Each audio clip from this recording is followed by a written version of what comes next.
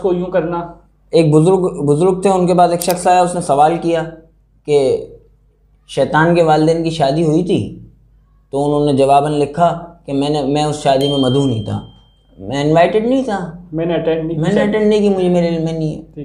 तो बात ये अब इस तरह के सवाल होते हैं अजीब अजीब किस्म के तो फिर इस तरह की चीज़ें और इसमें सबसे बड़ा किरदार उन खुराफात का है जो असल में ये लोगों की गलती है कि ऐसे लोगों को सुनते हैं क्योंकि लोग दीन सीखने के लिए नहीं सुनते।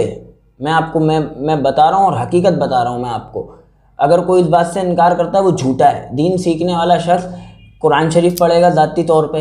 अपना उसको उसको जिद्दोजहद होगी कुरान शरीफ पढ़ेगा अपनी औलाद की तरबियत के लिए उसको सही अहले इल्म लोगों को सर्च करेगा और उनके पास जाएगा जो तरीक़ेकार है। आप एक स्कूल के लिए आप मैं आपको मिसाल देता हूँ। अगर आप आप मुझे अपने बच्चे की अच्छी तरबियत करनी है तो मैं क्या करूँगा? गूगल पे देखूँगा कि अच्छा कौन सा इंग्लिश का टीचर है अच्छा कौन सा मैथमेटिक्स पे बोलता है। उसको बोलूँगा यार इसको सुना करो। ऐसा तो नहीं करूँगा ना। मैं सर्च करता हूँ यार टॉप मोस्ट स्कूल कौन से हैं? अपने एरिया में देखता हूँ सबसे अपने एरिया में देखता हूँ या जो इस फ़ील्ड के लोग हैं उनसे बोलता हूँ यार आपकी निगाह में कौन सा स्कूल है जो बहुत अच्छा है मेरे बच्चे के लिए? ये मैार है दुनियावी तालीम का लेकिन जब दीन की बात आती है तो लिंक शेयर किया जाता है यार ये वीडियो है ये सुन ले। इसके अंदर जो है ना इसने जो है ना बड़ी अच्छी डिस्कशन की है और उसको एक एज अ जो इन्जॉयमेंट शेयर किया जा रहा है। भाई, आप जब दीन सीखने निकलो तो दीन दीन को भी वैसी इज़्ज़त दो, जैसी आप दुनियावी उलूम को दे रहे हो।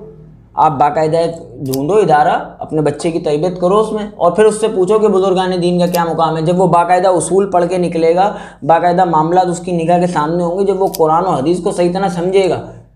अभी वो इन चीज़ों से बिल्कुल अनअवेयर है, और उसको डायरेक्ट उस सतह की बातें बताई जा रही हैं, जो दीन पे भी एक मुकाम पे जाके, आलिम खुद एक मुकाम पे जाके पढ़ते हैं वो बातें, जो वो अमूमी हालत में सुन रहा है। मतलब अभी तो वो अनअवेयर है ना, बिल्कुल। उसको सही तरह मसाइल ही नहीं पता। लेकिन वो जो मामला सुन रहा है, वो बस सुने जा रहा है।